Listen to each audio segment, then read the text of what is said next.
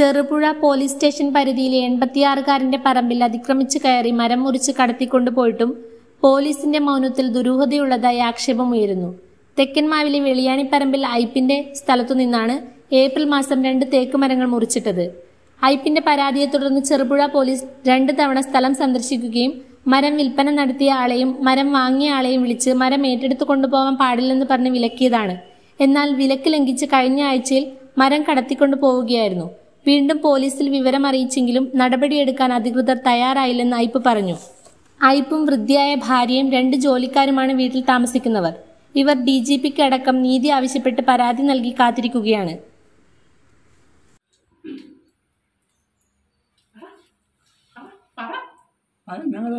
സഹായിക്കണം.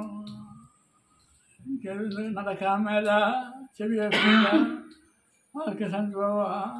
അതുകൊണ്ട് എന്നെ സഹായിക്കണം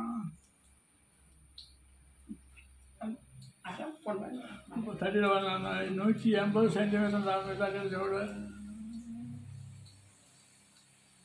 പിന്നത്തെ അതൊന്നുമില്ല എനിക്ക് മേലെ പെണ്ണുങ്ങൾ അളവെടുത്തതാണ് പോലീസ് അളവെടുക്കാൻ പോയിട്ടുണ്ടല്ലോ നൂറ്റി എൺപത് സെൻറ്റിമീറ്റർ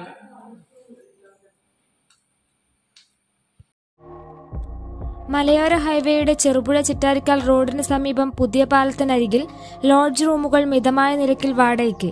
ആധുനിക സൗകര്യത്തോടു കൂടിയ റൂമുകൾ. പുഴത്തീരത്തിന്റെ മനോഹര കാഴ്ച കണ്ട് ടൗണിന്റെ ബഹളങ്ങളിൽ നിന്നും ഒഴിവായി താമസിക്കാൻ ഏറ്റവും അനുയോജ്യമായ മുറികൾ. തട്ടാപറമ്പിൽ ടൂറിസ്റ്റ് ഹോം പുതിയ പാലത്തിന് സമീപം ചെറുപുഴ.